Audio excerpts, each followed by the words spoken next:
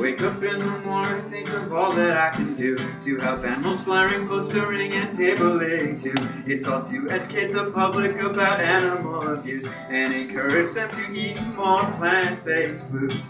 I advocate for animals cause it makes me feel serene in a way I never thought I'd be because I've never been so outraged, so riled, so infuriated by animal abuse and so contented when I act to end their use. I know our pain is no fun, but if you ever hear someone say my pain is the only thing that matters or should count, look at the cages and the veal crates and the feedlots too. Say I'll keep speaking out until they are set free. Say I'll keep speaking out until they are set free. When I talked to a new activist, I really liked it when she said what she said about helping out animals and being an activist. She said I ah. like animals, especially farmed animals, all animals need help. Oh my, and people on their side.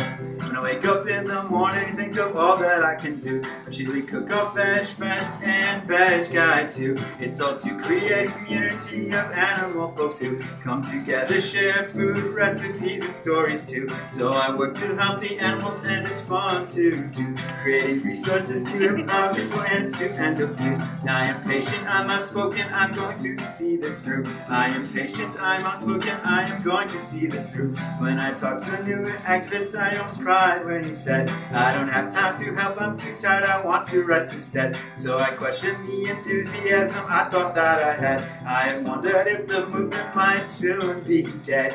But then he said I can find another way to help instead. And he thought of some tactics to do that we wouldn't tread. So thank you, new actors, cause you take what is in your head and make changes for animals that will help them not be dead. All the more effective when we realize, well, should be candid, exposing animal abuse and humble too. I know our pain is no fun, but if you ever hear someone say my pain is the only thing that matters or should count, think of chickens and the piggies and the cows and the sheep. Say I'll keep speaking out until they are set free. Say I'll keep speaking out until they are set free. I'll help an animal abuse because I like animals.